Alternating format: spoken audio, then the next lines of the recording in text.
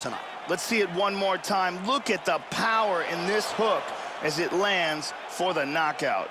Great angle here. I mean, just... The official